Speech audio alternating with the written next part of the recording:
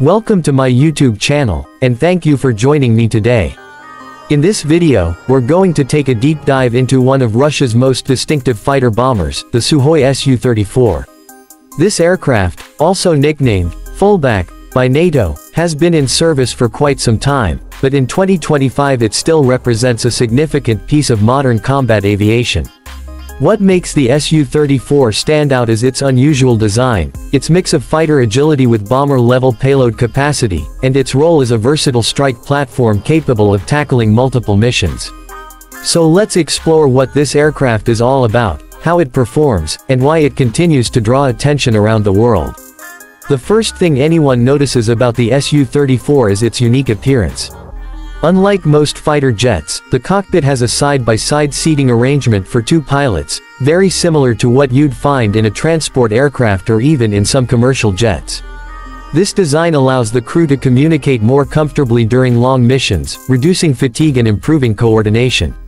The cockpit itself is pressurized and even includes space for the crew to move around slightly, with amenities like a small galley and even a rest area.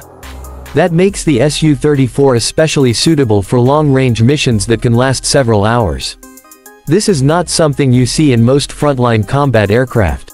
In terms of design, the Su-34 is based on the airframe of the Su-27 Flanker, one of Russia's most famous air superiority fighters. However, it has been heavily modified for a strike role. The airframe is reinforced, the nose is reshaped to house advanced radar systems, and the aircraft is equipped with armored protection for the crew. It also features canards, those small forward wings that improve maneuverability and control, especially at low speeds or when carrying heavy loads.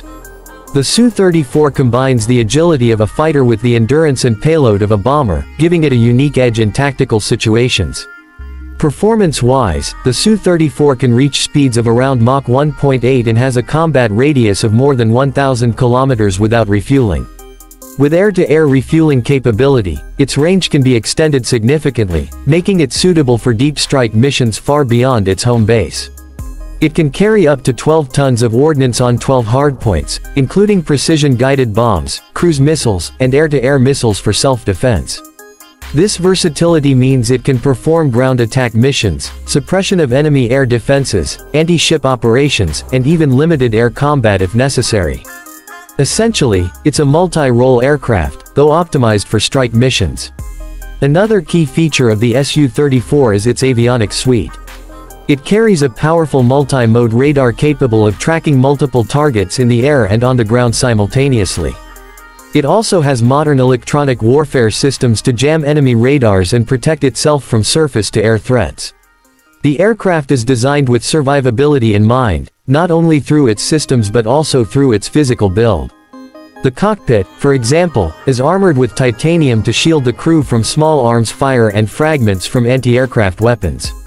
What makes the Su-34 interesting from a broader perspective is its role in Russia's Air Force strategy.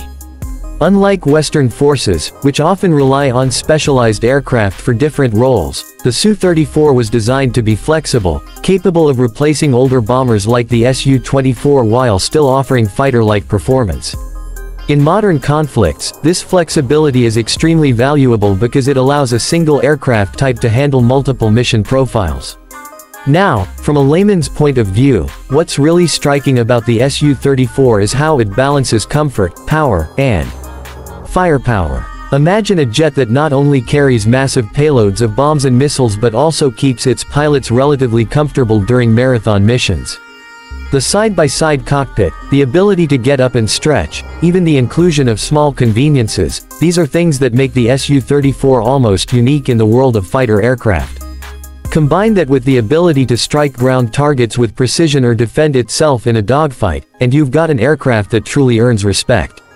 Of course, the Su-34 does have limitations.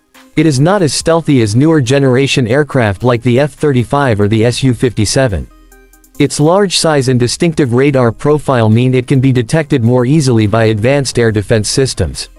However, its range, payload, and survivability compensate for that, making it a powerful tool in conventional conflicts. In conclusion, the Sukhoi Su-34 is not just another fighter bomber. It's a symbol of Russia's approach to air power, rugged, versatile, and capable of handling a wide spectrum of missions. Its unusual design, powerful performance, and crew-friendly cockpit make it one of the most recognizable combat aircraft in service today. Whether you view it from a technical perspective or simply as an aviation enthusiast, the Su-34 continues to be an aircraft worth talking about in 2025.